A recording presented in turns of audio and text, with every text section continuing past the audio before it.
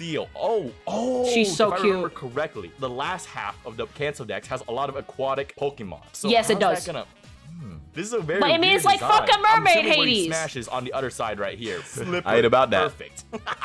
She's really soft, actually. She's not slippery. Dewgong is slippery. And that's a minus. We want it to be slippery. The seal arms, but also the humanoid arms. It's throwing me off, bro. Smash, shut the fuck up, Hades. You should smash. Look at that thing's dumpy. I drew that ass. And you're not going to fucking smash that? Hades. Nope. Hades, we need to have a word. Nope.